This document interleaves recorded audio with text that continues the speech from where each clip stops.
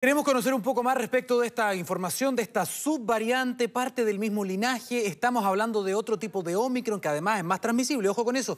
Eh, para saber más detalles estamos en contacto hasta ahora y saludamos a la doctora Claudia Saavedra. Ella es microbióloga de la UNAV y además vocera de la Sociedad de Microbiología de Chile. Doctora, ¿cómo está? Muy buenos días.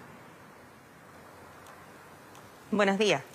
Doctora Saavedra, bueno, me imagino que estaba escuchando la nota y antes de hablar directamente respecto de lo que sabemos de esta subvariante o nueva Omicron o Omicron 2, preguntarle inmediatamente algo que es clave. La vemos con mascarilla y toda esta discusión además se origina a raíz de muchas discusiones que se han dado, sobre todo en espacios públicos, respecto del uso de el tapabocas, del barbijo, de la mascarilla. Con este contexto de pandemia, de alto número de casos diarios y además de esta variante que sabemos que es muy contagiosa, eh, ¿cuál es el papel y el rol que juega la mascarilla?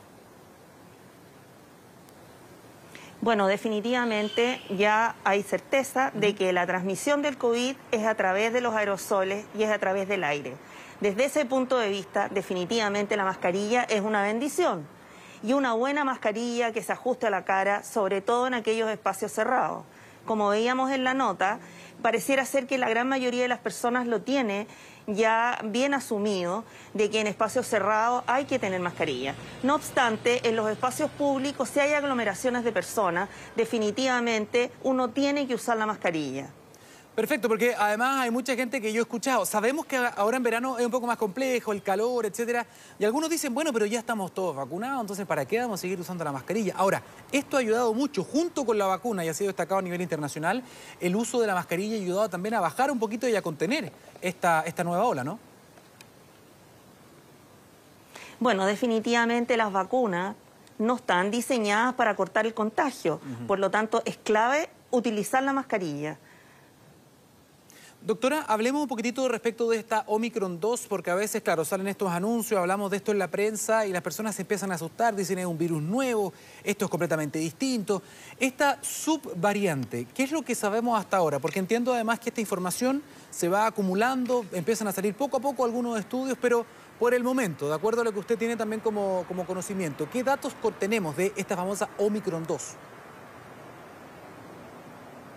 Bueno, hasta ahora la evidencia muestra que esta subvariante de Omicron es más transmisible y además genera una, síntomas más graves en las personas independiente de, la vacunación, digamos. Ahora, lo que está definido también es que las vacunas efectivamente protegen a las personas de hacer un cuadro muy grave y de fallecer. Pero eso no es garantía en nuestro país porque usted sabe que nosotros tenemos eh, que considerar distintos otros aspectos como son la edad de las personas, eh, el, tipo de vacuna que se usó en Chile, se usó la vacuna Sinovac y se ha usado de refuerzo la vacuna RNA. Eh, por otra parte, tenemos que considerar las enfermedades de base que no podemos olvidar en nuestro país. Hay un gran porcentaje de personas que presenta obesidad, que tiene hipertensión, que tiene diabetes, por lo tanto, esas personas van a ser aquellas personas más débiles que van a estar susceptibles a contagiarse, sobre todo en este periodo en el cual, como vemos, tenemos un gran gran porcentaje de contagio y han ido en aumento de forma preocupante los eh, ingresos hospitalarios y obviamente el número de fallecidos. Se ha duplicado de la semana pasada al de ahora. Entonces yo creo que es necesario, bajo todo punto de vista, de eh, rescatar el mensaje de riesgo y de eh, insistir en el uso de la mascarilla absolutamente y obviamente la vacunación. Claro, y que no se instale la idea de que esta es una enfermedad más leve o que Omicron no hace nada. Estamos viendo ya en las cifras, como usted bien decía, los ingresos a la UCI. En varios hospitales las UCIs están casi llenas. Atención con ese dato. Y otra cosa importante que usted mencionaba, doctora, y se lo menciono a raíz de lo que está pasando en el contexto internacional. Hay varios países, sobre todo en Europa, por ejemplo, Dinamarca, Suecia, Francia en cierta medida, España también va a comenzar con esto, que han bajado o todas o parcialmente algunas restricciones y es realmente una apuesta. Entonces, hay mucha gente que está diciendo, bueno, si ellos pueden hacerlo con un porcentaje menor de vacunación al que tiene Chile, ¿por qué nosotros no? Y usted mencionó un punto que es clave.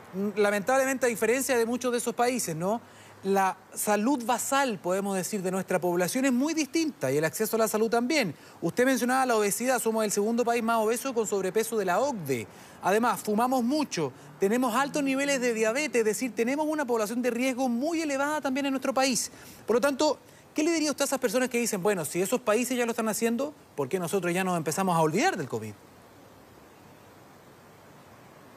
Bueno, porque no es necesario copiar todo, pues no tenemos que comportarnos como un espejo y definitivamente este no es un resfriado común. Hay mucha evidencia que se ha obtenido precisamente de esos países que usted ha mencionado, en el cual existe lo que se denomina el COVID largo o la persistencia de esta enfermedad durante muchos meses que imposibilita a las personas llevar una vida normal y trabajar. Por lo tanto, desde ese punto de vista, me parece que eh, tenemos que ser eh, ahora sí más sabios y comenzar a, ver la evidencia científica, tomar decisiones en función de, la, de las evidencias que se van generando y de esa manera tomar la decisión de cuidarnos, porque en definitiva, al menos en este periodo de transición entre un gobierno y otro, lo que nos queda es la mascarilla y la vacunación. Perfecto, doctora Claudia Saavedra. Eh, espero yo que este video, alguna de sus palabras, estos son los tipos de videos que nosotros queremos que sean viralizados, ¿no? Personas que saben, personas que estudian. Doctora Claudia Saavedra, microbióloga eh, de la UNAD, muchísimas gracias por este contacto a esta hora con nosotros. Muchas gracias, buenos días. Que esté bien, buenos días.